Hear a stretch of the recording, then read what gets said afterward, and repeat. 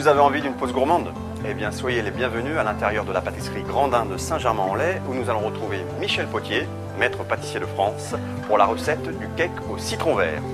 Tout un programme. Suivez-moi. Bonjour Michel. Bonjour, Alors, quels sont les ingrédients pour ce cake au citron vert? On va avoir besoin de d'œufs, Oui. de sucre, Uh-huh. on va avoir besoin de farine, un petit peu de levure chimique, de la crème épaisse, crème double qu'on appelle, du beurre, Oui. évidemment des citrons verts, des zestes, de moule à cake. En premier, on va commencer par mettre le beurre à fondre Oui. parce qu'il faut qu'il soit fondu et tiède. D'accord. Tiède. Je vais râper mon citron. Oui.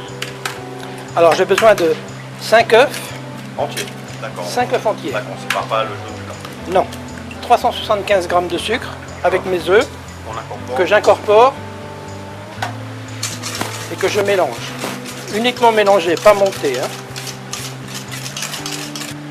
Prenez de la crème épaisse, la crème double, ça, ça s'appelle la crème double, crème et c'est de la crème épaisse. hein. Oui. Et là, pareil, on mélange. Et là c'est pareil, mélanger. hein. Bien. Ensuite, je mélange ma farine avec ma levure chimique que je tamise. Ça mise un petit peu.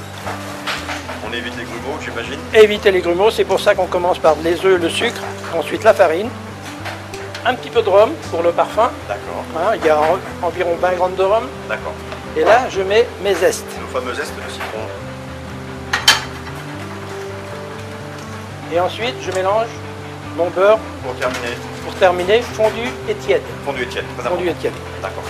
Donc là vous avez la- l'appareil qui est prêt. Donc on va le laisser reposer un petit peu, environ une petite demi-heure. Ah, important. Laissez reposer une demi-heure. Là, on va beurrer les moules. Alors là on va beurrer les moules Beurre les moules. aux trois quarts, une bonne moitié, bonne, quoi. bonne Voilà. moitié. Nos moules sont prêts, donc on les met au four. D'accord. Pendant combien de temps? Alors, environ une heure. Ça dépend de la grandeur des moules, mais environ une heure. hein. Coupez légèrement sur le dessus, Petite entaille. une entaille. Oui. Donc là, Michel, on vient de sortir notre cake du four. Oui, tout à fait. Donc, vous le laissez refroidir. Oui. Après, on, le- on le- on va le, le napper d'un nappage euh, abricot. Alors, avec votre nappage bien fondu, bien, bien chaud, vous le nappez entièrement, bien nappé partout.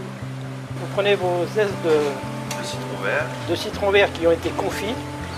La petite touche finale.